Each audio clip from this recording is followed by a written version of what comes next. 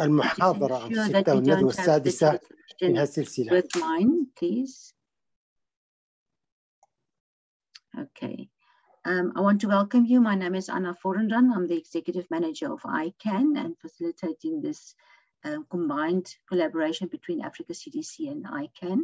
This is our Series 9, Week 6, um, and we can just let you know that there will be one week break and then we will start with series 10, which will also then run over six weeks, once every week on a Wednesday, the same time for the English session with Portuguese and Arabic translation. And then the French session will be on a Thursday at one o'clock South African time. So if I can just ask for some housekeeping rules, please keep your microphones muted. Please keep your videos off to ensure a good bandwidth. And then if you have any questions, just please, please paste them in the Q&A box and not in the chat box. We will try and address them as soon as possible. And if we've got enough time at the end, we will address the, some of them live. Um, what you also want to introduce, make sure is that you will get a certificate of attendance if you've registered and attended at least four out of the six for per series and that you've already stayed on for at least 60 minutes um, for each of the sessions. Um, that will be then sent to you um, through Africa CDC from Susan. If you do have any queries, you can either contact Susan or myself, and we will try and address all the questions that they will be. We will also, after permission from all the presenters, post all the presentations from all the series on the um, ICAN website. And all the ones that has been recorded will be on the ICAN YouTube um, also available. So you will have to then log into our ICAN website. This currently being uploaded. So just give us a few days to make sure everything is there. Without further ado, I want to uh, hand over, and I'm just going to stop sharing. Um, just hand over to Ms. Chika Ukuhendu from Africa CDC, who's going to give us a short update on the status of um, COVID-19. Over to you, Chika. Okay, thank you, Doctor. So um, let me quickly share my screen.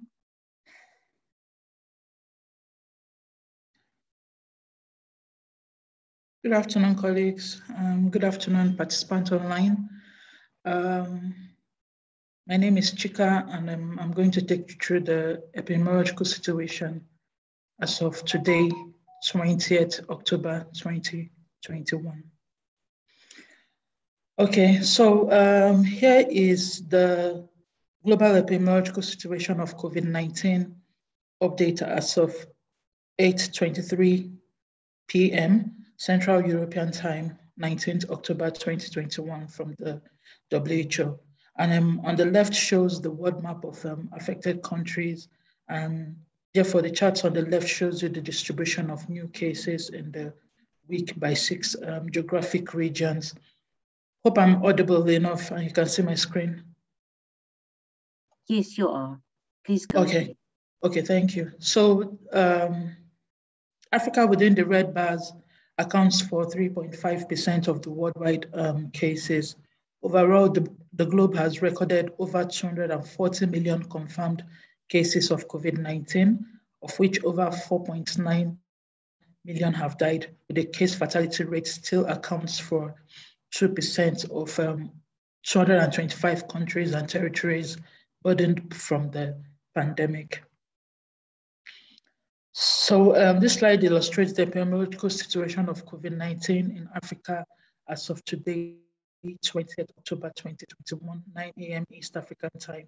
And um, we're focusing at the COVID-19 um, situation and the map on the left depicts the distribution of cumulative cases confirmed by 53 AU member states. And um, the epic curve on the right is showing the the COVID-19 cases reported daily by regions. And the red lines represents the seven days moving average that shows a continuously reported cases in the uh, 55 member states. Um, the Africa figures indicates over 8.4 uh, million cases, 215,000 deaths, leading to a case fatality rate of 2.6% and over 7.8 million recoveries, of which 93% um, people have recovered from COVID-19 across the continent. However, the cases reported on a downward um, trend. So this table is displaying the distribution of COVID-19 new and cumulative cases, deaths, and recoveries by AU regions. As of 9 a.m. today, for the last 24 hours, over 5,000 new um, cases, about 250 deaths, and um, over 6,700 new recoveries are reported from um, okay. 53 member states within the past um, week. And the majority of the, the new cases reported from the eastern okay. regions, though the southern region this day reported almost the number of new deaths, new recoveries. This day, oh, um, six countries accounted for 84% of the new COVID 19 cases reported.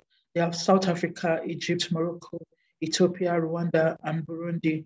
And um, Rwanda alone accounted for 40% of all the new cases reported on the continent today. Okay, so moving on to the incidence per 1 million population per day by AU member states. This week, that's this EPI week 40, we classified the incidence into 41, I mean to say, we classified the incidence into um, five categories with new cutoff points to match that of the COVID-19 tiered public health and social measures uh, framework for Africa.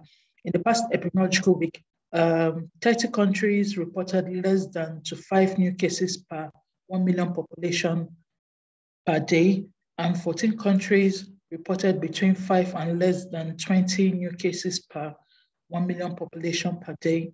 Six countries reported between 20 and less than 80 new cases per 1 million population per day, and while three countries are reporting equal to or more than 80 new cases per 1 million population per day.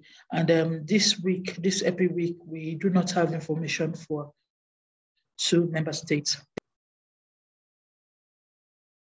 So um, this slide is showing the COVID-19 case fatality rate by AU member states. Um, there are five categories here. Um, 10 countries have a CFR that is less than or equal to 1%. 18 countries have a CFR that is greater than 1 and lesser than 2 um. Um, 24 countries have a CFR that is greater than 2 and lesser than 5%, while three countries have a CFR greater than 5%. So with regards to testing, this graph illustrates the cumulative testing conducted all together the AU member states um, by regions. Over 75 million tests are conducted across the continent with 8.9 um, tests per reported cases and the general positivity rate is 11.2 um, percent. So the brown and the red bars represents the new tests and the new cases respectively. The black moving line is the percentage positive. Currently um, on a downward movement for the week uh, for week 41 and then other um, previous weeks. So um, here, I think uh, member states should be encouraged to do more of testing because if they are not, uh, if if there is an inadequate um, testing, won't be able to detect the number of um, cases. So it's not a good sign that the testing um, by member states are the, that's the testing conducted at member states are reducing. So we advise that um, um, more testing should be done for member states to see what the situation is actually is. So uh, lastly, observing the test positivity by AU member states for the past epidemiological week this week, we classified the test positivity also into five categories with new cutoff points to match that of um, COVID-19 tiered public health and social measures framework for Africa. And then 23 countries have test positivity less than um, 3%. Seven countries have test positivity between 3 to 5%. Seven countries have test positivity from 5 to 12 um, percent, and four countries have a test positivity equal to or greater than 12%. Um, we do not have lab information for 14 countries um, this EPI week 41. Um, thank you for listening, and that is all from here. Over to you, colleagues. Thank you very much, Chika. Um, it was wonderful to see, and it's so great to see that there's a downward coming of um, new cases and um, deaths as well. Without further ado, I just want to remind everybody that there will be translation in um, Portuguese and in Arabic simultaneously. The slides will be posted on the ICAN website, um, and we will have um, the certificates if you attend at least four out of the six. I see there's a lot of questions about that already. I want to now hand over to Dr. Jaco Nice, whom is a senior researcher at the Council for Scientific and Industrial Research, um, shortly CSIR. And he's going to talk about the design of healthcare facilities for droplet and airborne pathogens. First, he's going to talk about the architectural needs. We will have a short break for the interpreters as well and then he will carry on about looking at ventilation uh, before we hand over to Dr. Agostino Numbeti from Mozambique that's going to do his presentations. Please post all your questions in the Q&A box and we will see how soon and who we can answer. So if I can take this and hand over to Dr. Jaco, you can share your screen. Welcome again to our webinar, Dr. Jaco Nice. Thank you. Good morning. Thank you, Anna. I trust that you can see my screen. Is it visible? Yes, we can. Great. Thank you, Anna. Thank you for that introduction. Uh, welcome to uh, everyone has, that has joined us this morning, to all the delegates. To see, I had a quick read through where everyone's from, and it's fantastic to see that we almost represented the entire Africa and portions of Europe, and obviously South Africa as well. So that's that's that's great sort of it feels like we're like an Africa summit. So thank you for putting out the time this morning, and I hope that you will you will you will gain some gain some new knowledge this morning, and hopefully you'll be able to apply it at your places of work and the environments that you're on a daily day-to-day basis. Um, so let's get straight into it. So what are we going to speak about? sorry, this afternoon or this evening, wherever that is that you are at the moment in the continent. So we're going to speak about health. I'm just going to give a brief overview, and because it's important to find the relevance of that within why and how we relate that to the built environment. And then we're going to quickly overview IPC, infection prevention control. Look at how um, HAI, so healthcare acquired infection, but it's a bit more than just HAI healthcare. It's also other environments. And then we'll look at some design considerations. We're going to look at a new field called MOBI, which is microbiology of the built environment. And then go into a bit more depth of ventilation strategies um, that are specifically relevant to your workplaces and your application to that. And then I'm going to look at some case studies and, and approaches that you can consider um, when considering materials and applications and, and the way that we need to approach um, when you get involved or part of infrastructure planning and decision making, how you need to think about that. So I'm going to throw a few numbers out there. I'm not sure if numbers look familiar in any way. Um, they shouldn't. Well, they should because you deal with them every day.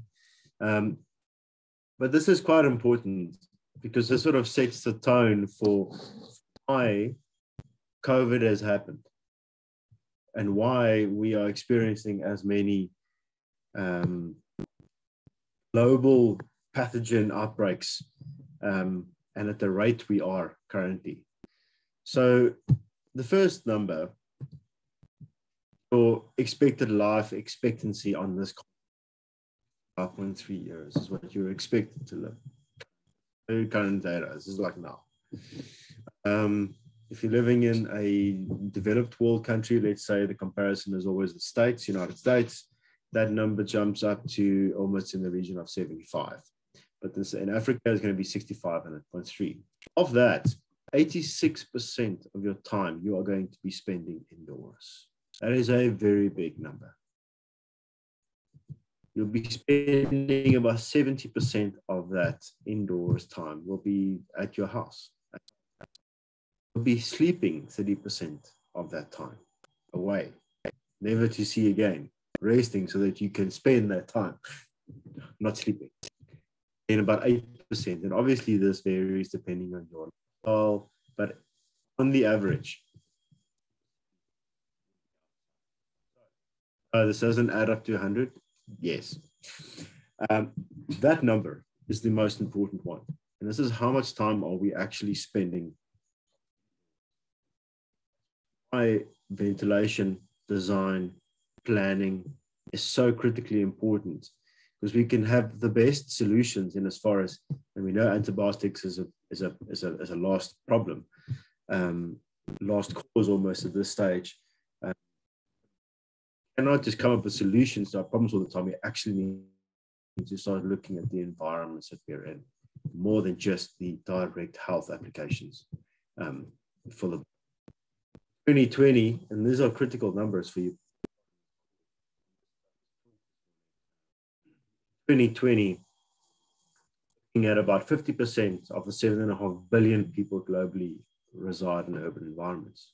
It's a lot of people living in densely close populated. Reason why we have had as many outbreaks over the last 20 years. And of the most recent one had the most severe or global awareness, let me say awareness impact has been COVID-19 or SARS-CoV-2 and all its variants. That number is expected to increase to 68%, which is almost 5 billion people by 2050. So what we are experiencing now is going to be exponentially more in the future if we do not get this right. In Africa, by 2060, in the next 40 years, in other words, there's going to be a 300% migration to urban centers. We are going to see about 395 million moving up to 1.3 billion people staying in urban centers and that changes the game completely. Um, and we need to think about this now, because if we don't start thinking about how we deal with this now, it'll be too late to think about it later. So that's why thinking about healthy indoor environments is so critically important, and not just healthcare, but all other indoor environments. So I'm going to use South Africa as a case sample for data Currently, we're sitting at about just under 60 million. Um, when we consider HAI rates, um, we've got a 9.8 per rate. Um, we're in developing countries that, yes. Sorry, Jaco. Um, your voice is just sometimes uh, seems as if it's dropping that we can't hear you. So I'm not sure if it's just your microphone, if you can just maybe just check that for us, please. Let's see if I can make my sound a little bit louder. I don't know if that's more clear. Yeah, thank you. Okay, let me do that.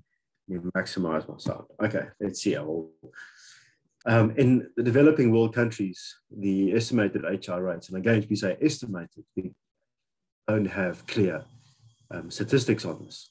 Uh, we don't have good reporting processes. Number is 15. That number is 15.5 per 100 people. My opinion, an underestimation. And obviously now the cost of this, of occupational disease has not been counted as much in, in Africa um, as it has been in, for example, the United States, where that cost is costing USA 46 billion annually. I can only imagine what that is costing us in this country and in the rest of Africa. Because HI is an occupational uh, disease data in South Africa, it's lacking limited studies that are showing us how we need to deal with it, studies that are working on surveillance, studies that are that we can actually gain immediate response and, and by that have outcomes. And then uh, to sort of make things slightly more complicated, um, COVID being sort of a great awareness position for this. When we look at uh, uh, COVID 19, and my data that I've got on here is a little bit old, um, but the COVID 19 cases um, is was at one stage 267, 2,675 per 100,000. Look at it in comparison to something like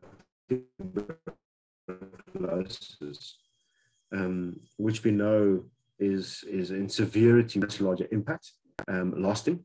Um, I know if you can see that my net, if, I, if I'm if I, if there's a bit of a drop in, it's because I seem to have slightly bad network this morning, but I'm gonna, let's hope it gets better. Must be some load shedding somewhere. Um, so when we consider uh, from an epidemiological perspective, a, a uh, when we consider a uh, uh, an outbreak or something that is uh, of a disastrous nature, um, then we look at 300 per 100,000. But we are sitting at 650, and we look at high incident rate areas. We're looking over 1,100 on TB, Um, with a mortality rate of uh, 58,000 people and a co-infection of 62% on HIV. Um, so we need to under, we need to never forget that there is this thing called tuberculosis.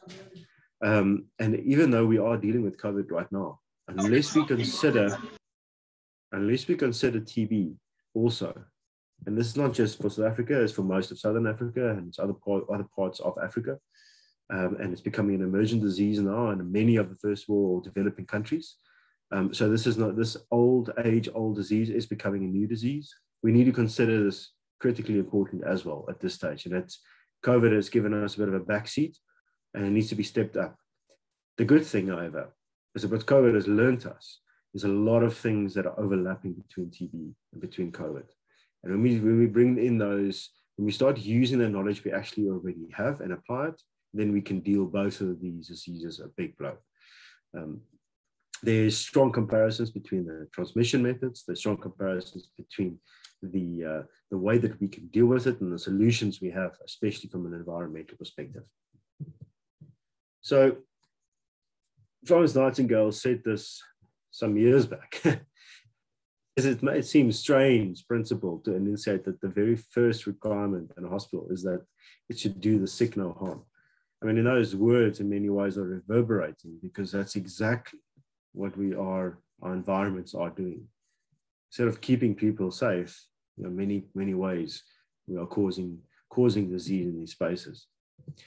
So just sort of from a, one of the first, so I, and I call it Healthcare 101, one of the first epidemiological studies done by, unawareingly done by um, Florence um, deaths in three battle, which is the orange, then wounds from other causes, and then wounds from disease. And we last one outweighs it. And there's only one way that that could have happened is because it was congregated environments. It was it was it was these uh, um, uh, makeshift um, uh, hospital environment. effectively, she's looked at the first quantitative investigation to infection spread in these spaces, in these environments. Um, and what does that mean for us today? It means that um, spaces where susceptible individuals are brought into close contact with infectious individuals. And how do we deal with that?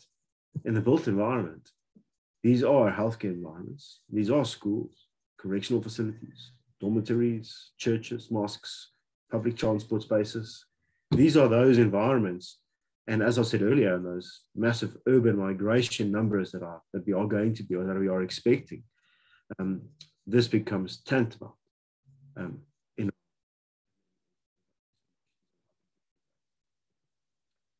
so many of you obviously know this process and the cycle. Um, uh, uh, uh, how does infection basically occur? Um, and there's these six points in the process. Well, first, you need a, a causative agent. It needs to have sufficient virulent numbers to destroy. Um, and I'm going to draw comparisons where the built environment actually is relevant to this. It's important to look at this from an interdisciplinary perspective. In fact, you should rather look from a disciplinary perspective. Um, because these agents are found in the built environment, which means we need to consider what the built environment is made up of. And then reservoirs, where organisms can reproduce body tissue, waste of human animals, insects, contaminated food and water, and favorable conditions. Again, this is found in the built environment, these reservoirs. And it requires an exit portal with host to respiratory tract or intestinal tract, then a mode of transport, and that hands air surfaces in the environment, built environment. That is through your windows. That is through touching one trolley that's moving to the next room. That's through your ventilation systems. Um, and then it requires a portal of entry. Pathogens can then enter, and that's obviously big.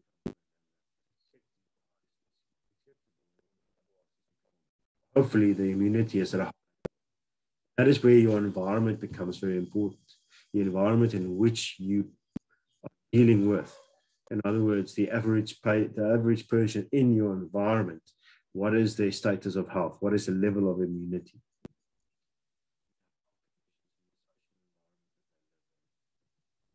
Even the last one is also in the built environment.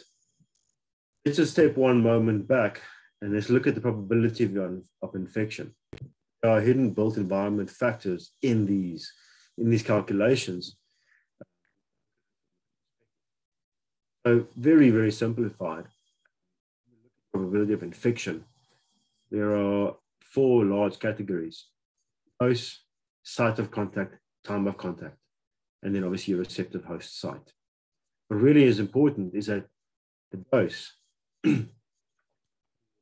how many these vectors are potentially being expelled in that space, or how many of these particles, these airborne particles, or these uh, droplets are being expelled. What is the dose? And then what is the site of contact? Um, and how long is this occurring at that time so suddenly we have time we have spatial environment we have number of occupants in that spatial environment now when we bring when we consider that from the perspective of a built environment we realize that those things are immediate responsible those things can be resolved through built environment solutions to reduce the probability of infection in that environment we're not speaking about the immunity of each individual. We're looking at how to deal with it from an environmental perspective. When we think about the basic reproductive number, so in other words, for each sick person, how many people, subsequent new people will be infected? And we need to understand that when we deal with a specific pathogen type. So when we look at Ebola, we know it's by one to two, HIV by one to four. We know at this stage, um, we, we estimate that SARS-CoV-3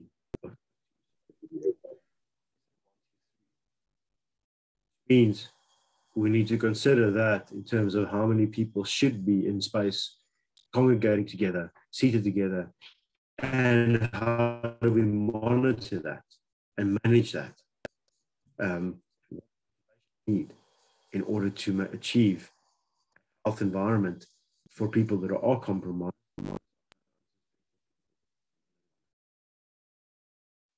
So contamination occurs by airborne, droplet, and through touch.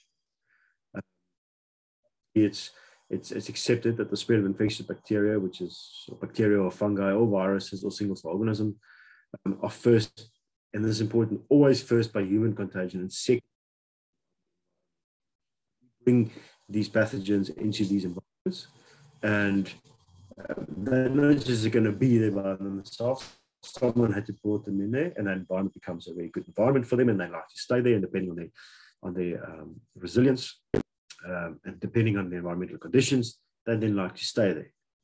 When we think about SARS-CoV-2, um, we need to consider that both droplet and touch and airborne is relevant. You know, the touch to a, to a lesser extent, unless it's very immediate, but droplet and airborne most certainly. And those are interchangeable terms that I'm using now as an interchangeable concept, but I'm going to explain to you what I mean by droplet and airborne, because they are separate. And then secondly, each host can acquire microbes in two ways. Vertically, obviously through inheriting it from the parents, or horizontally acquired. The majority of the COVID findings have indicated that it's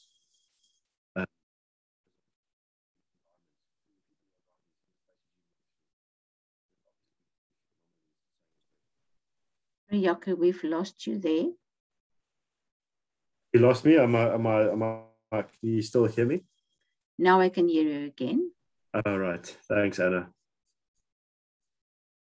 And to prevent the spread of antimicrobial resistance microorganisms, there's really two ways only we can do that. And one is optimizing antimicrobial use, and we all know that. I think all, every health delegate on this, on this call knows that. But the second one is to prevent the transmission of resistant organisms.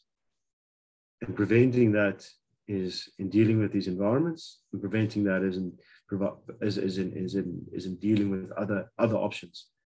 Um, so preventing transmission at this stage, when we think about COVID-19, um, we need to look at environmental solutions, we need to look at administrative solutions, we need to look at PPE.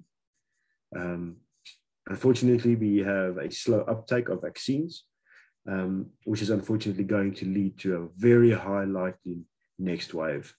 Um, but I'm not going to say anything further on that. Let's hope that that changes in due course.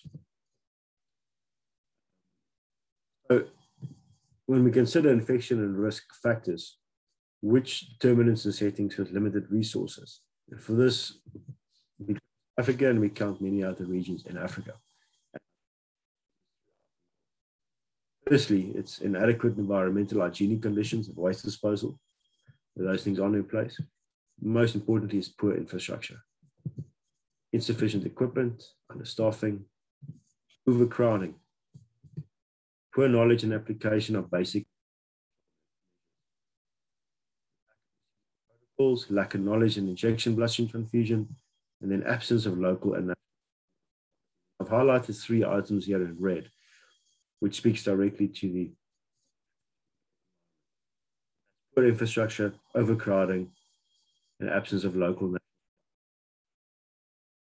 We will always have these challenges, but it's with what we have that will make the difference.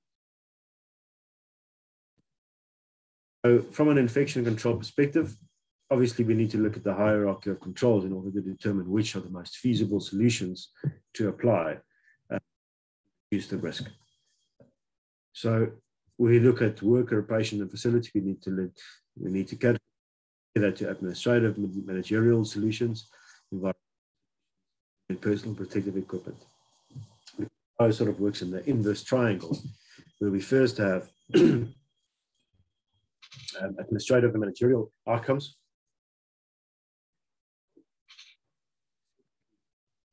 We then go and approach environmental solutions if we cannot deal with it, policies and procedures.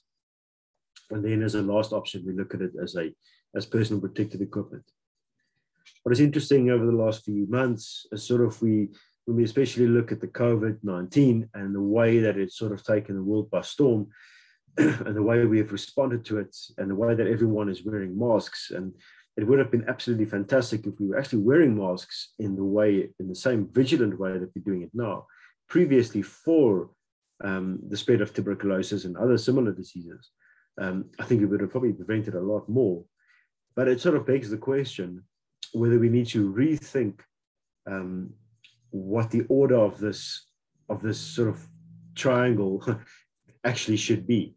But I'm not going to go into that discussion now. That's something we need to actually think about.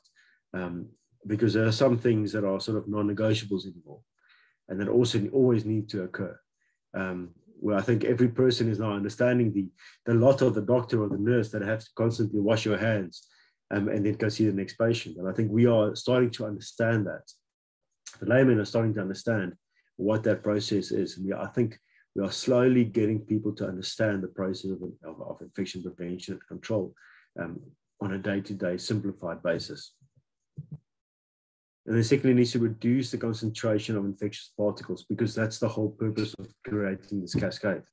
So we need to reduce the risk. And in order to reduce risk, we need to reduce the concentration of infectious particles. Um, to reduce risk once environmental and administrative controls are in place. If they're not in place, it's going to be very difficult to reduce that risk. Another big question is, do we consider IPC in building design? And I mean, I'm going to unfortunately say that for majority of built environment professionals, the answer is no. Um, there's many times that we have, and I myself have, uh, do or provide guidance for, for specialists who are doing various healthcare facilities. In many of the cases, they don't actually have the knowledge and understanding of how. What is really important is this specific slide. We call this the basket approach. What this means is that I cannot just go and put surgical masks on. And this from this research back in 2008. Um, cannot just go and improve the ventilation system all the way up to 15 air changes. Cannot just go and employ UVGI. I cannot just go and put policies in place. Um, because if I do only one of those things, and this example was using measles, and I was only doing surgical masks because I was, or I was only doing ventilation, in other words, environmental, or I was only doing UVGI, or I was only doing policies. Um, it actually didn't make a major difference. But when I put all of those controls together, it made a very, very big impact on the effectiveness of those controls. In other words, and that's what we say, it's a basket approach. You need to review the risk, interdisciplinary solutions to that risk, and then allow for, for the responsiveness of all those solutions as a collective. And that's why you need multiple people on the team to do that. So when we think about administrative controls, we consider managerial programs, practices, significantly in this instance, uh, reduce COVID-19, appropriate work practices, specific environmental controls that are policy, um, define what settings certain respiratory uh, uh protection is required, adhere to national regulations or norms, or otherwise, if they're not there, decontamination standards, set those things up. Uh, use CDC, WHO, or other reputable uh, guidance. And then the process of screening, triaging, fast track. Um, how did you identify your hazard points, for example, and then providing training? And that is what administrative controls respond to environmental controls. then we start speaking about ventilation, dilution, stack effect, buoyancy, and pressure. In other words, how do I use the natural ventilation that drive airflow, but also make it environments that are relatively comfortable so that people actually adhere to the certain design principles, allowing certain design principles, putting those things in place and other words, that's looking at flow processes. Apologies. Allowing certain people in certain environments, doing effective screening, and then looking at the appropriate applications of ultraviolet germicidal irradiation, and in the material selection of, of, of, of wall surfaces and other finishes.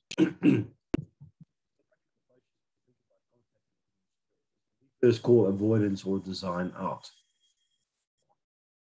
That means simply considering separation of people and space in space.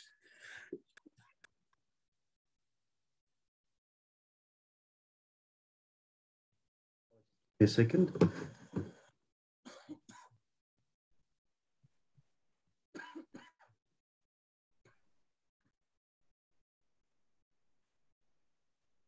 Riyaki, are you unmuted now?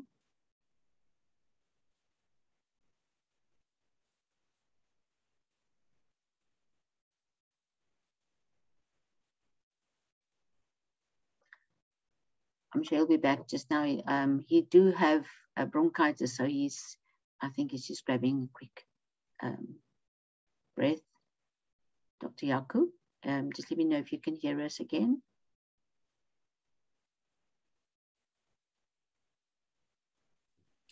Thanks, Anna. Sorry, I just had a bit of a a coughing fit. Okay, no, that's just I to give my breath back. Give me another couple of seconds.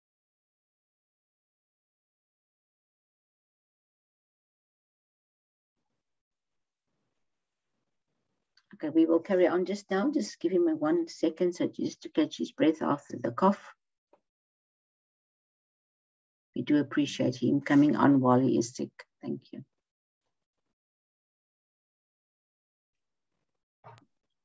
Okay, let's see. Let's see if we can continue this because this is very important. All right, I'm going to start speaking a bit slower. Let's see if we um, can get this critical information across.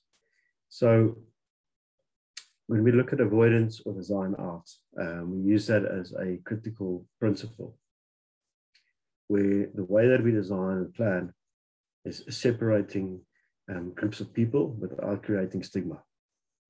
And then we consider sec seclusion is what is seclusion and the difference between seclusion, um, separation and isolation because from a ventilation perspective, there are quite different solutions. Um, and why we say design out is because from the start, the concept or the idea is that you design the solution before you have the problem. In other words, bringing the bringing the right decision making right in the design, um, and not just looking for a post post facto solution, which is often what we have in many facilities.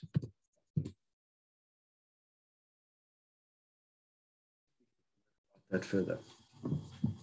We speak about mitigation, and it's the bundle approach, where it's not just one solution, but it's multiple solutions. So we look at standard precautions.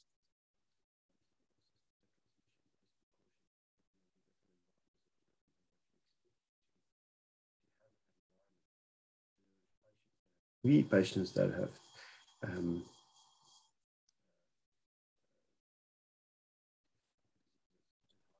Sorry, Jaco, we are missing you again. We just hear uh, here and there a word. Can you hear me now? Is that slightly better? That's better now. Thank you. Okay, great. Thanks.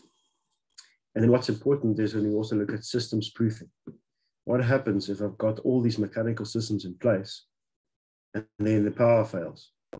And now I've got an entire building that relies on a certain system but cannot be achieved because I haven't system proofed the solution.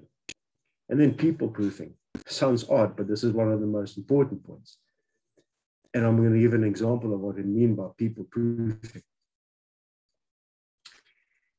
If you, for example, in the nurses station, if you let's use let's use a, a high risk environment, um, whether it's a COVID ward or a PUI ward or a tuberculosis ward. Um, and you have a nurses station and you have a central mechanical ventilation system that is providing individual air to each of these spaces and it's extracting air, creating a positive pressure at the nurses station. In other words, the air is blowing into the nurses station and blowing away from the nurses station so that it moves into the other spaces so that the potential um, contaminants aren't moving towards the nurses station. But then we put the switch for that system at the nurses station in the summer, it's great because it's nice and cool. But now in the winter, it becomes cold. And so the nurses are getting cold. But they now know that if they put the switch off, it gets nice and warm. Unbeknownly to them, they're actually completely shifting the system and making that space that, that space really dangerous for themselves. And that is what we mean by people proofing it. Taking away those kind of switches, taking away that level, not access um, for comfort, but access for safety. So how do we people-proof systems so that people cannot mix up systems and therefore create higher risk environments? And what other risks or what other things do I put in place to achieve that? And then we need to look at building materials. Materials, surfaces, what surfaces am I using for floors? What surfaces am I using for walls? Or for ceilings? How cleanable are they? And what is the persistence of certain hardy uh, nosocomial um, that could be possibly at the surface that I'm considering, and so on. And then we look at standard support surfaces and uh, precautions, and those are typical things. That's alcohol hand rub at the bedside, optimizing clinical washout basins, and pools and cleans. And I'm just going to stop at that one for a, a brief second. There's this very interesting situation or scenario that's currently happening, um, especially now. I think it's escalated with the current COVID era, where we have um, sanitizers or sanitizing stations, and we are slowly removing or moving away from using the basin, and we just rather going to the sanitizer at the door at the door entrance and exit, which is great because it's at the door exit and entrance. So you as a doctor or as a nurse immediately wash your hands before you enter in. So the previous contamination from another space won't occur and as you exit. But here's the here's the counter challenge at the moment. Those basins are in fact being used less and less. So what is happening is that there are not a lot of water flow through those basins. And what we have is we've got something called Legionella that's forming in those in those, in those drains. And the moment I open up that, that water spout and it's not flowing straight immediately into that basin, it suddenly um, aerosolizes the Legionella inside that. And unless I have maintained my system effectively through whether it is by uh, uh, chlorine bombs in the system at a certain intervals, monthly intervals, um, I actually have a much, much higher risk now because I'm having underused, underused basins that have potential to cause other risks. And we've actually seen events and cases like this. A colleague of mine, a friend of mine back in Canada at the university, he's actually had to do an investigation of a number of patients being were killed as a result of, of that. Um, and they couldn't work out why it was until they managed to calculate and see what the, what, what, the, what the impact was. And it was exactly something like this. Materials we need to look at non-porous and impervious. Um, what can host um, environments such as, um, which is high, high uh, um, that are that can that live in extreme heat and extreme uh, uh, low quantities of water, high heat and high in what other surface materials to be used, copper and the appropriateness of that, or aging nanotechnology and the effectiveness of that. And then obviously we look at assembly details, um, floor details, and then the workflow, which is the spatial sequencing configuration.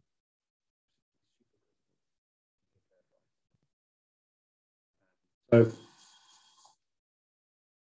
can it be assumed that, that we as, as built environments professionals, us, or those people that are working with you at your facilities in your environments actually know how to do that, know how to embed IPC in these environments. With your understanding of built environment, your understanding of, of health. And that's why I'm drawing strong comparisons in this presentation specifically with, with elements that we know from a healthcare or a, or a mm-hmm. Um, health perspective how do we draw that to a built environment perspective? Because we know the flora from the built environment, endemic or epidemic, um, uh, causes environmental infections. And that is where it's in damp areas. It could be in London, it could be in the equipment, it could be in the food, it could be in the fine dust and droplet nuclei. There's many studies showing that if there's a um, if, if there's if there's some construction happening at a facility next door, immediately next to the facility, um, there is a number of uh, contaminants that are then uh, such as aspergillus and so on that gets um, aerosolized and we can see that through the ventilation systems goes into the building and suddenly you have an increased rate of infections. so we need to consider when we're building on, when we're adding new additions or new um, construction to facilities, how are we dealing with that? In fine dust and droplet nuclei. And that is why it's critically important because bacteria that's smaller than 10 micrometers in diameter remain in the air for a long time, several hours. And it can also be inhaled in the same way as dust can be inhaled into your lungs. It is possible to be infected by touching surfaces and objects, and we know that. Jaco, I just want to ask you, we will need to take a break at, um, for the translators. Um, if you can quickly maybe just wrap up this one. Thank you. Common surfaces such as door handles, light fittings, buttons, those, those and what are those materials made of? and how often am I touching those, those surfaces? There's this new field called the microbiology of the built environment. And in many ways, the image on the right-hand side are all those different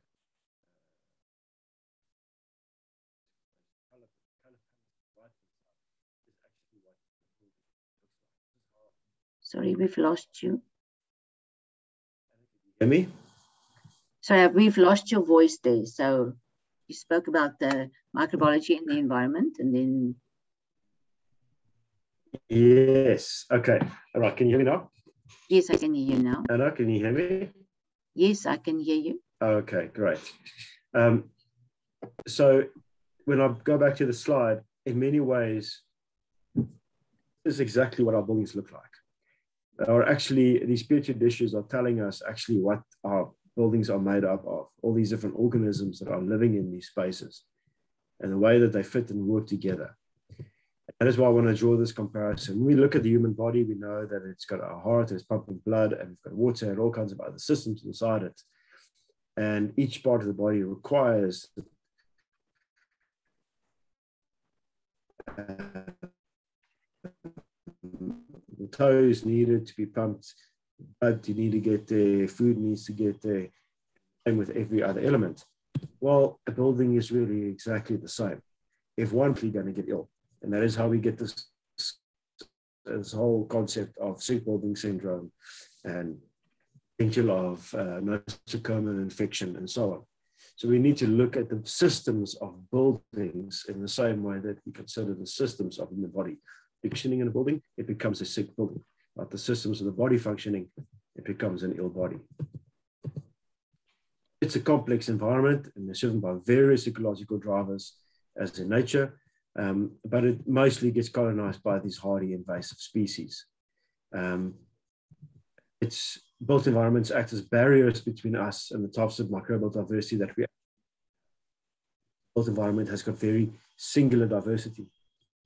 Um, and we actually need that diversity. That's why we need to get out of our buildings more often um, in order for our. So what we've done in a, in a recent um, study is that we've looked at uh, hospital environments um, in South Africa, and I did a study on the built environment and spatial analytics, as well as doing a lot of microbial samples to see what are the different impacts of these two environments and what is it, how does it work. And when we look at hospitals, we often consider that they are very, um, they're driven by very strong programs, but have a tendency to shift between weak and strong. The office environments have weaker programs. Um, what do we mean by that? Weak means a space that is configuration dependent, which means the way I design it, the way it's on the floor, it's the way I use it. But if it's got a strong program, that means that the policies that you put in place overrules just the planning of that space.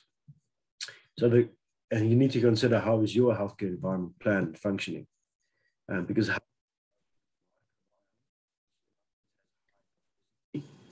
is determined uh, determines how microbiomes because we need this balanced structure and functional richness. This is an example of what we actually find when we look at these different environments that there's clearly two different two different environments happening.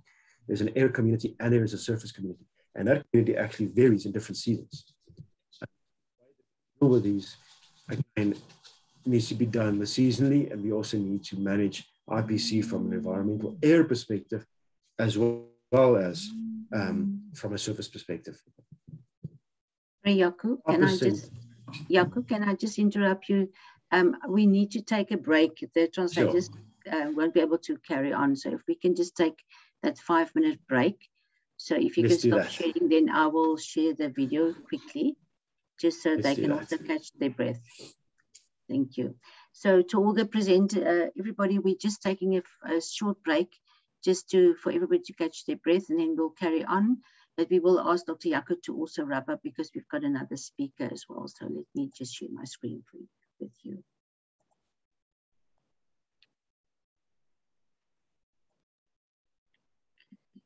Can you see my screen? I hope so. This COVID 19 infection control and occupational health Listen to the Experts video series was produced by the CSIR. This video clip was produced in support of the South African National Department of Health in its fight to reduce the transmission and impact of COVID 19 on South Africa's healthcare sector.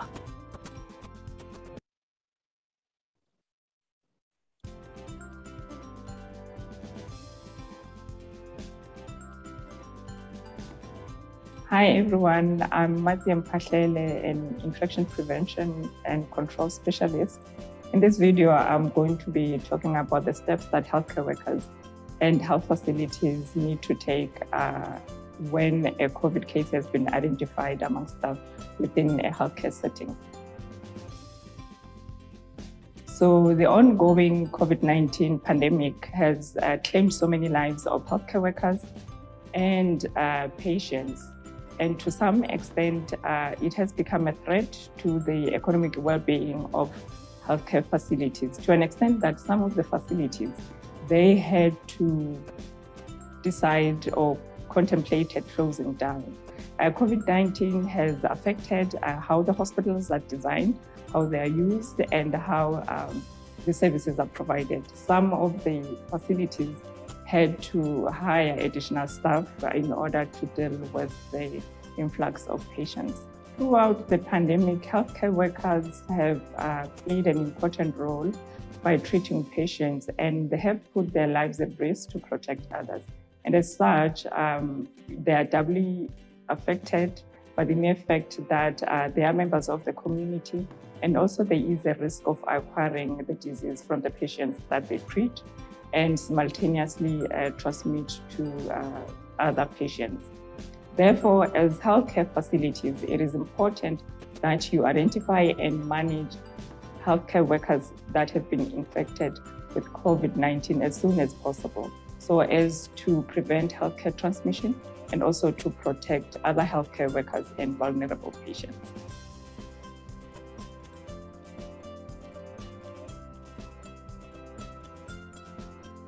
As more healthcare workers get infected with COVID-19, the present question facing you as healthcare facilities is whether or not to shut down a facility after a confirmed case has been identified among staff.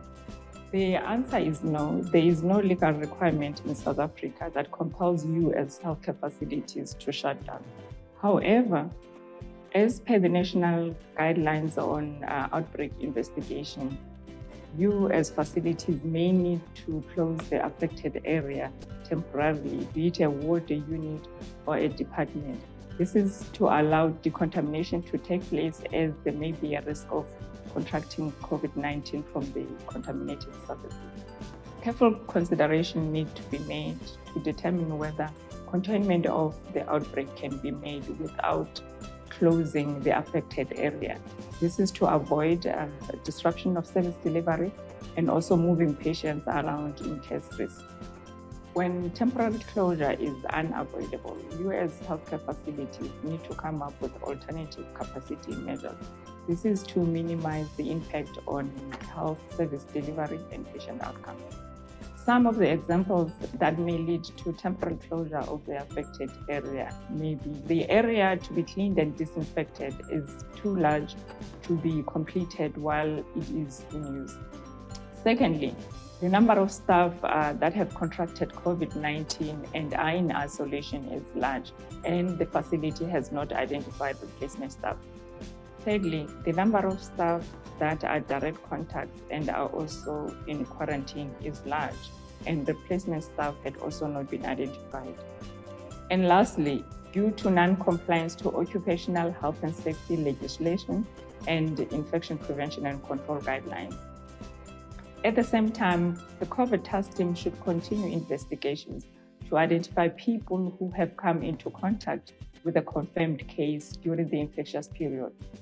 The COVID task team should conduct a targeted uh, risk assessment that takes into account uh, the risks that may arise due to COVID. Remember, temporary closure of the affected area can be avoided by completing staff screening autonomously, rapidly cleaning and disinfecting the affected area once decontamination has been completed, seconding staff from the other areas, and ensuring compliance with the occupational health and safety regulation. Keep in mind, the IPC measures require constant reinforcement by means of written documents, training, mentoring, and monitoring implementation. Thank you. Thank you, everybody. We've um, just got now the break. I'm sure everybody's got their um, breath back. We're just going to allow Dr. Yakunaj to just quickly do the ventilation part so we can still have time for um, Dr. Nyapeti from Mozambique to also do a C presentation. Over to you. Thank you, Anna. Going to try and wrap up quickly in the last bits that are critically important for everyone to know. um, and that is just understanding ventilation and understanding the why it's important um, and, and, the applications to that. So, so when we consider aerosols, we've got uh, two different, basically two different sizes. And that's what I mentioned earlier when we look at droplet and airborne, because they are, they are different. Um, we look at an, an, an aerosol, which is uh, uh, is greater than five micrometers in diameter, and which means it can in fact tra travel more than six feet in distance. Which means the way I need to manage and, and, and provide solutions for that is different to a droplet. The droplet is a heavier particle which is greater than five micrometer um, diameter, uh, diameter, and it will therefore carry a lot less than, than six feet in distance and therefore stay uh, suspended for a lot less and causing potential fomites or potential fallout onto surfaces and therefore can be then picked up by a susceptible host either through touching a surface or um, or it could be even even on that surface stay stay viable for some time. Important because if I go to the next slide, um, you'll see that the terminal set, and this is important, you, are going to get this presentation. So consider this in the, in the basis of the uh, uh, uh aerosol dynamics of your specific pathogens that you consider. If it's one micrometers, it can stay in, it will stay in the air for up to nine, up to eight, 7.9 hours, even longer. And 240 meters, which means it will travel from one side to your facility all the way to the next if there, if there is a ventilation system that's working. And that could even be tuberculosis, as an example. And then the, the larger it gets, five or 10 or 50, the quicker it falls to the surface, the less distance it can travel. And that's why we speak about near field and far field transmission. Um, when we speak about COVID, COVID is in the sits at that point where we're almost speaking about a near field transmission, where we're saying that it can be through droplet, it can be picked up in the air, and therefore it can go up to six meters which means it is on that edge of being airborne and not airborne. And that is why there's been so much communication and discussions around the airborne nature of, of COVID. And that is again, once if it that's if it's in an aerosol format, in other words, if it's in the droplet format, if it's even smaller and in a smaller droplet, it could travel further. Um, consider the um, hierarchy of ventilation. Um, our first solution must always be passive ventilation systems. Why? Because passive ventilation system doesn't cost us money. It is lower maintenance solutions, and we can get the amount of quantity of air that we can get through passive ventilation is a lot more than through mechanical systems. By opening windows, the amount of air changes. Air changing mean if I've got a room and I'm going to quickly do a calculation, let's say the room is three meters by three meters and it's got a height of three meters. That means it's got a nine by three. Um, so that's a 27 cubes. Um, and it's how many times can I change 27 cubes of air per hour? Now, I should be at least changing in, in healthcare settings, at least in South Africa, the building regulation says eight. We say at least 12 to 15 times we need to change the air in that space for that space to be safe. In other words, it's saying that that air is being changed almost every half an hour, is what I need to do. And through national ventilation, it's the easiest and cheapest way to do that. Then, secondly, um, I look at hybrid systems where I use climate adaptability, where I've got a system which does a bit of both.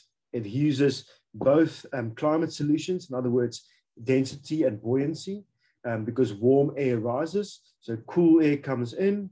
Um, I allow it to rise, and I have these stacks, in other words, these chimneys and then I pull the air through that and it causes ventilation, especially if I don't have double-sided windows. And it can pull the air through that space and I will still get some level of, and I can then have assisted mechanical ventilation, such as a fan or an extractor fan, to assist the process. And lastly, I can go to fully mechanical ventilation, where I have a full mechanical system that, that, that says that I actually need to close my windows, or at least to a minimum have majority of my windows closed. I have a constant airflow number. Certain environments, we require mechanical full ventilation systems because we need to have a controlled environment, especially in our theaters and so on. But full mechanical systems require very good maintenance processes and programs in place because I need to look at my HEPA filters and other filtration systems. And if they are not in place, I will not know that unless I've got some kind of system that shows me that. Um, we look at this, for example, and this diagram shows you the transmission um, comparison when I have a better ventilation. Um, and the better the ventilation and the lower the occupancy, the least possible transmission occurs. Um, there's various ventilation models, and I mentioned this earlier. First one is the isolation model. Um, and this specifically is contact infection isolation for touch. And this, this is the touch isolation, um, where mixing ventilation, aerosol, and resuspension. This is a negative pressure room with an, where an anteroom is not, for example, required. Um, this is, in other words, saying that the air must be drawn in from the outside into the room meaning the patient is the one that's ill and could potentially contaminate the rest of the spaces. And then when we say airborne isolation, this is a negative pressure that requires for airborne infection. In other words, patients that have anything that is airborne uh, linked or related.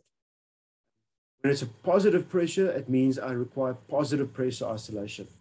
Um, where and positive pressure, I'll only use that in cases where, for example, um, need to save, need to keep the patient safe and not necessarily the people outside safe.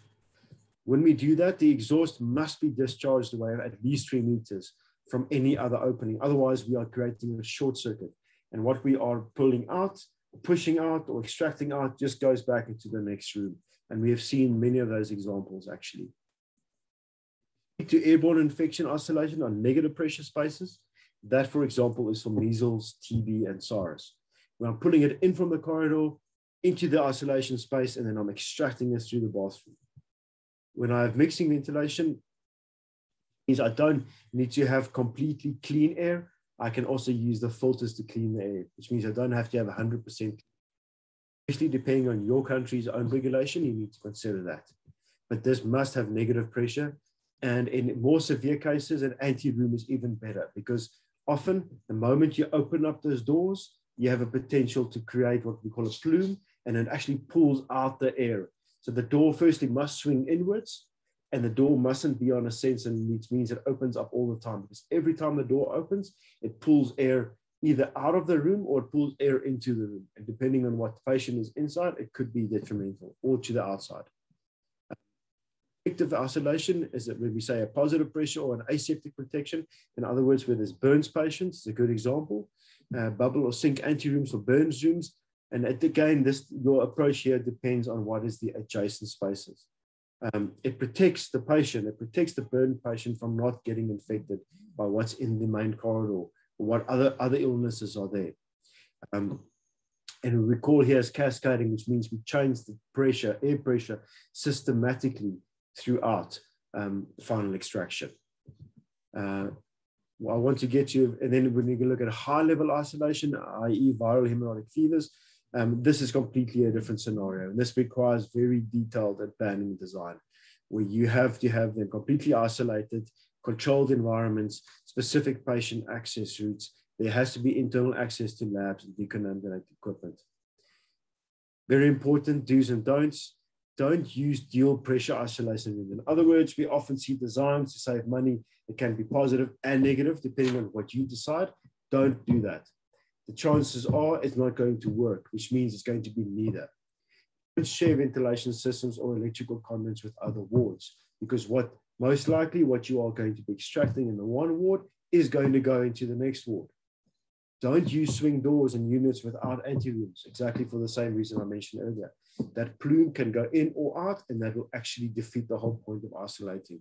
And then don't HEPA filter exhausts unless the respiratory protection is beside, because HEPA filters are extremely expensive And putting it on the external as a final point is actually just making the outside air clean for the outside air. So it's not making no difference. It needs to be in line in the process if you are going to be recycling that air back. And still, we need to consider why. What things can you do and should you do? What we say is firstly, interlock supply and exhaust systems, which other words means I cannot open that door unless the system is running, unless it's active. Don't go and use pressure gradients that is greater than 10 pascals. If it's less than that, it'll most likely not be cascading effectively. You will most likely have some of that air returning. Use visual air pressure indicators, such as the image on the right-hand side. If that ball is hanging in the middle, you know that the air pressure is actually working, the ventilation system is working. Other ways to do that is by just taking a piece of cloth, putting it underneath the door um, where there's an opening to see if the air is flowing in or out. Hang sliding doors on the outside of the room. That means that you can fix it. You don't have to go into the environment in the event that there's a problem or an issue. Use automatic door closers, but avoid perimeter sensing door openers, as I mentioned earlier. Isolation is not separation. Separation says I have the same strain and I can separate them. Isolation means I have different strains I have different categories of people in the same environment, and I need to separate them from different ventilation systems. And then plan, design, and cost appropriate. I don't think I have too much more time, Anna. Um, I'm just go to the end. Um, these are core, very important factors we need to consider, such as salutogenic environments and what that means. It's thinking about your environments and using evidence right decision making because we've got a lot of data out there. You just need to use that information and apply data for your own solutions on, on health problems and challenges with patients. So we have the same amount of data out there for, for health environmental solutions, and we just need to go and apply it. You'll see all these uh, information in the end. Um, there is some really interesting examples of healthy buildings. And finally, we've got some guidance that someone has written. So have a look at that. It's a really great building. Um, no, I didn't, I'm not a co-author on that, but it's definitely worth, worth having a read. And unfortunately for me as an architect or as a built environment uh, specialist in healthcare, um, uh, my mistakes are always going to be visible. Um, so I can't just put a vine outside. I actually need to make sure it works right from the start. Thank you. Thank you very much, Jaco. Um, and um, yes, thank you very much. And I think for all of you, this these presentations will be available. And um, I'm sure Dr. Jaco, Jaco will also be available um, if you want to maybe contact him directly if you've got any other questions. Um, he will look at some of the questions at the moment in the Q&A box, but I'm going to hand over. So if you can stop sharing, uh, Jaco, we're going to hand over to Dr. Um, Agostino Mbieti. Sorry, doctor, if I mispronounce your surname or your name. He, uh, he's the Minister of Health in Mozambique, and he's going to give us a presentation on the country's perspective now during the COVID. Um, and if I'm not mistaken, Arya, you will be sharing the presentation in English, but he will be speaking in Portuguese. Um, so the English speakers will be able to follow on the English version on this one. Thank you, over.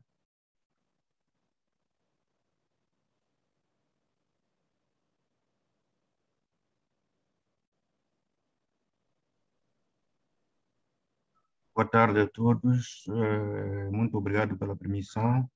Gostaria de apresentar a experiência de Moçambique em relação à prevenção e controle de infecções. Passa. Passa. Passa o slide. Portanto, contexto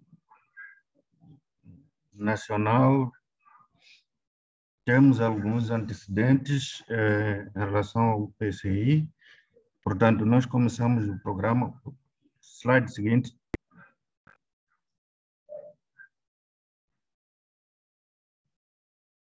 Seguinte. Portanto, nós começamos eh, o programa do PCI em 2004, com o advento do, do HIV-Sida.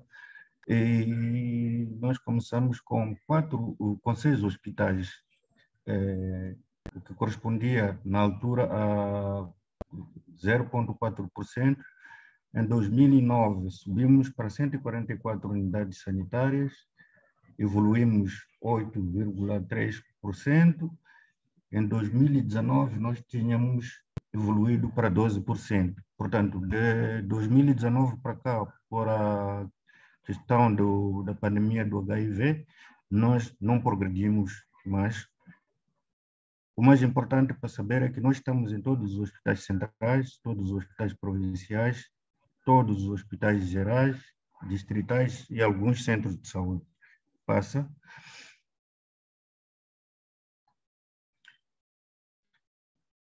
Portanto, em 2004 iniciamos o programa, mas este programa só foi institucionalizado como um programa nacional em 2019. Portanto, entre 2010 e 2013, nós ocupamos para a elaboração dos manuais de referência, estratégia de gestão de resíduos hospitalares e manual do formador, para permitir a formação do, do, dos trabalhadores. Em 2015, o programa foi descentralizado.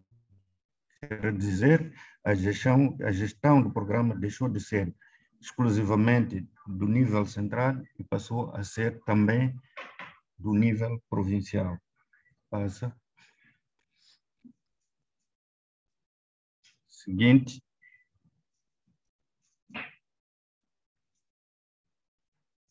Portanto, os objetivos essenciais deste programa foi prevenir a ocorrência de infecções graves resultantes da prestação de qualquer tipo de cuidado que envolva procedimentos não invasivos e minimizar o risco de transmissão de infecções graves aos, aos utentes e trabalhadores de saúde, incluindo as suas comunidades. Seguinte.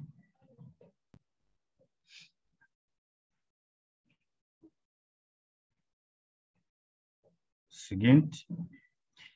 Portanto, este programa está é, inserido no Departamento de Enfermagem ao nível central, portanto, faz parte de uma repartição do Departamento de Enfermagem, em que se circunscreve a esterilização dos, dos diversos materiais, é, secção de gestão de resíduos hospitalares e secção da avaliação de qualidade. Seguinte.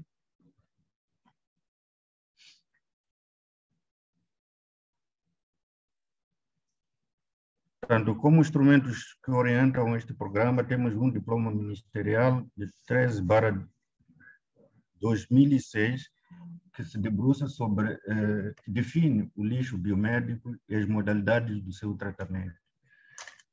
Temos também o regulamento de gestão do lixo biomédico, manual de referência do PCI, as diretrizes do PCI e a Estratégia Nacional de Gestão de Lixo. Esses são documentos que foram, no entanto, elaborados no âmbito deste programa.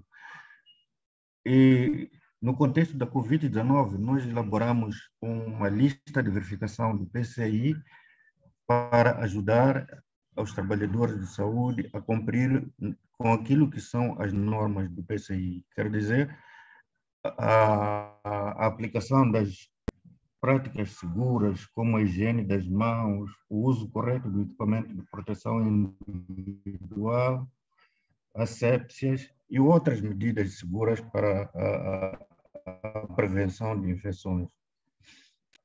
Seguinte. Estes são alguns dos instrumentos que nós eh, elaboramos. Tanto falei do manual de referência, e a imagem à direita mostra aquilo que é o, o instrumento de medição do desempenho das unidades sanitárias em PCI, porque, portanto, nós fazemos avaliação do desempenho das unidades sanitárias em PCI. Seguinte.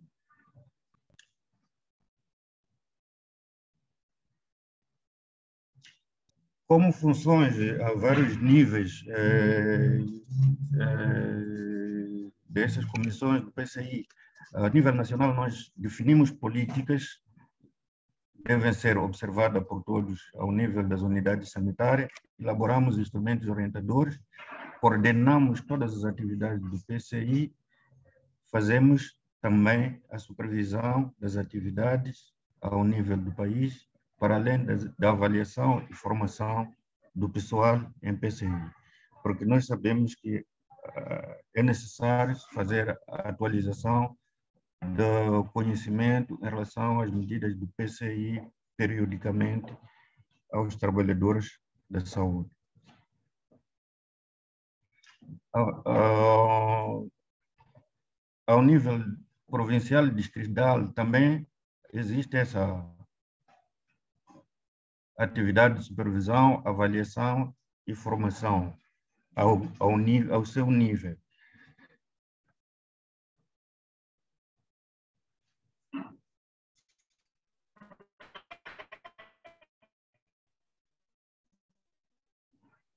Seguinte.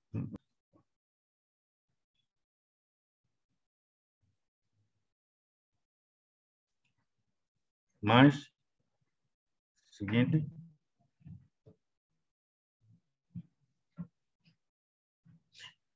Ok. É, no, no, no, ao nível das unidades sanitárias, este, esta equipe cresce um bocadinho mais, porque é a área onde se desenvolve todas as atividades inerentes ao PCI.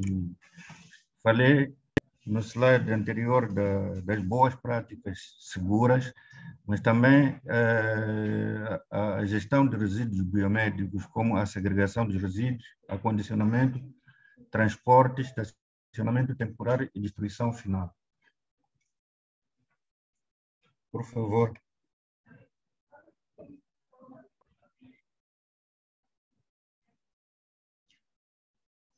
Ok. É, como disse anteriormente, nós fazemos as avaliações. Este programa rege-se pelas avaliações internas e externas. As avaliações internas são realizadas pela equipe da unidade sanitária. Portanto, cada unidade sanitária tem uma equipe que vai realizando as, as avaliações externas de forma trimestral. Cada três meses eles fazem uma avaliação interna. As avaliações externas são feitas por indivíduos fora da unidade sanitária. Significa que há uma equipe que sai da, da província vai para uma unidade sanitária, vai fazer esta avaliação, ou do ministério vai fazer esta avaliação. E o padrão mínimo exigido para considerar uma unidade sanitária com desempenho aceitável é de 80%. Significa que de todas as áreas que nós fazemos avaliação, se a unidade sanitária atingir em todas 80%, esta pode ser acreditada como sendo uma unidade sanitária com desempenho aceitável. Seguinte.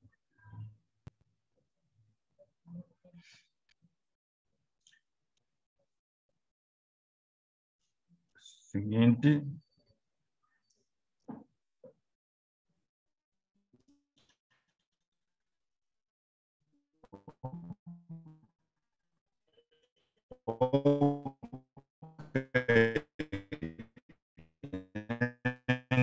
Cada unidade nós temos comissões, é, comissões são representadas todos os portanto, a atual da lavandaria, da cozinha, é, de gestão, enfim, todos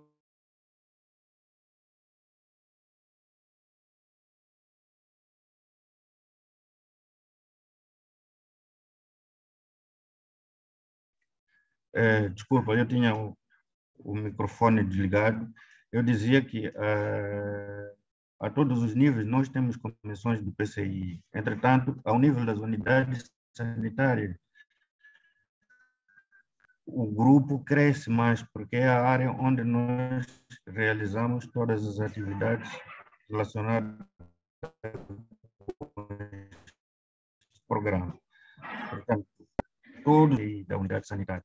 A atividade desta comissão é de velar por todos os aspectos relacionados com as normas do PCI. Seguinte. Um, este mapa uh, ilustra as unidades sanitárias que estão a implementar o programa em cada província deste país. Portanto, o número à esquerda representa as unidades sanitárias que estão a implementar o programa em relação às unidades sanitárias existentes naquela província. E como nós podemos depreender nesta imagem, praticamente nenhuma província conseguiu ter no mínimo 50% das unidades sanitárias a implementar o programa. Por isso, ainda temos muito desafio. Temos muitos desafios para a implementação destes programas ao nível do país.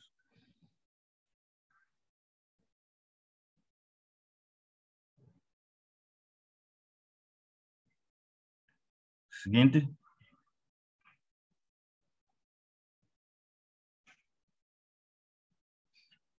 Ok. Uh, aqui nos problemas identificados, uh, me referi que no âmbito de convite nós implementamos a lista de verificação do PCI. Esta lista uh, o cumprimento escrupuloso dos, das medidas do PCI, porque verificou-se que haviam muitas lacunas no cumprimento das normas do PCI. Então, para garantir a segurança dos utentes e dos trabalhadores de saúde, nós criamos esta lista de verificação de forma a garantir este cumprimento, controlar as normas de paramentação e desparamentação dos profissionais de saúde, sobretudo também porque entendemos que nesta área de paramentação e desparamentação dos, dos profissionais de saúde haviam lacunas e muitos profissionais infectavam-se nesta ocasião. Portanto, foi muito útil, demonstrou-se que é, era possível controlarmos estas atividades através dessa lista de verificação. Agora, o nosso desafio agora é a expansão dessa lista para mais unidades sanitárias, porque neste momento estamos a trabalhar em 99 unidades sanitárias. Também visava garantir o aproveitamento do, do, equipamento de proteção individual ao nível das unidades sanitárias. Isto é, era possível, no fim de cada semana, sabermos qual é a quantidade de equipamento de proteção individual que nós temos na unidade sanitária e, de forma célere, fazermos uma requisição para aumentar o nosso estoque e avaliar o cumprimento destas normas. Outros problemas é... seguinte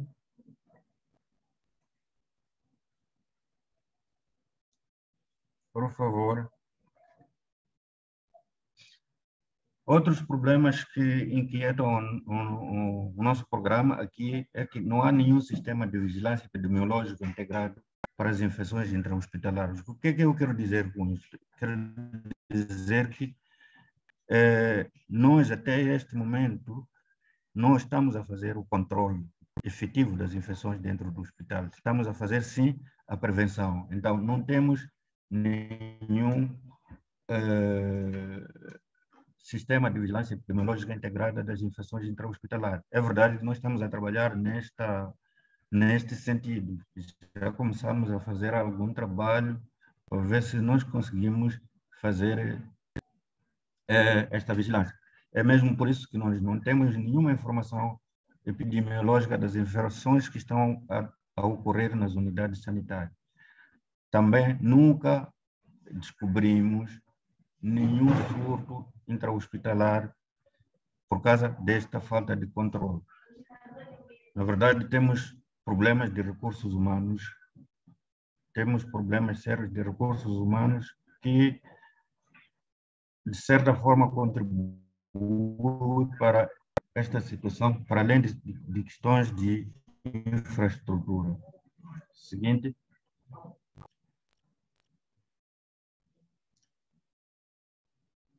siguiente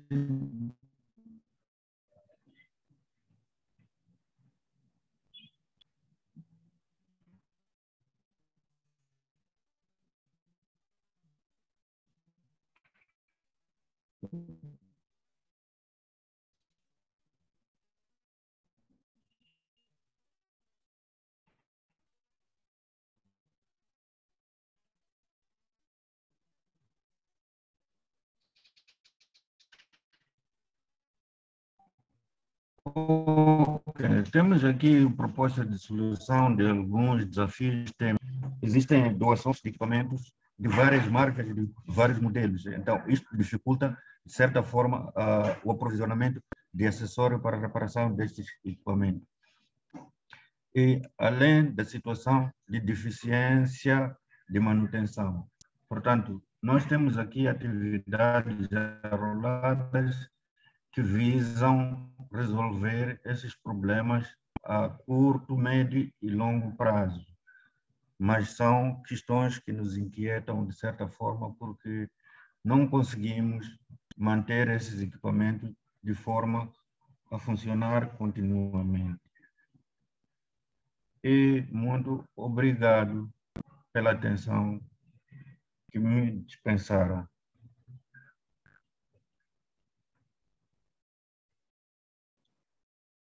Thank you very much, Dr. Nyebe. Dr. Wande, I don't know if you just want to say something. There is no open questions um, at the moment, so I don't think there's anything that we need to address, but maybe you just want to say a word. Over to you, Dr. Wande.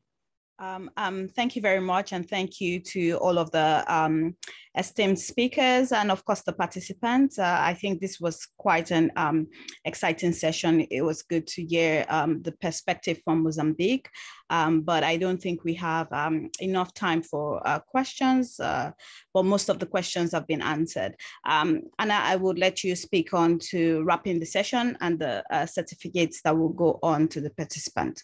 Thank you. Thank you very much, Dr. Wande. And yes, thank you again to our presenters. Thank you to Dr. Yakunais and Dr. Nyepe, Betty, to um, have their time available.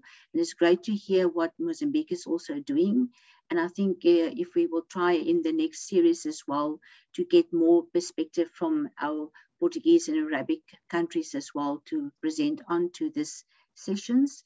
Uh, we're going to wrap up series nine now and then we will have one week break and then we will start with series 10 um, in one week's time, which will then be, let me just double check on the date, will be on the 3rd of November.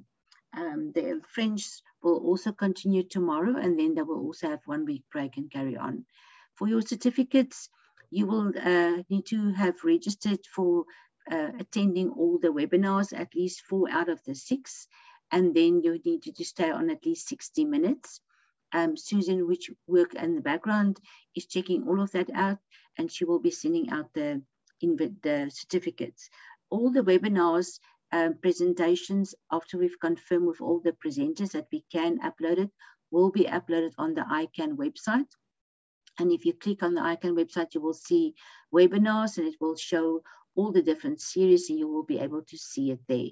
So thank you very much to everybody and thank you for your time and have a good afternoon.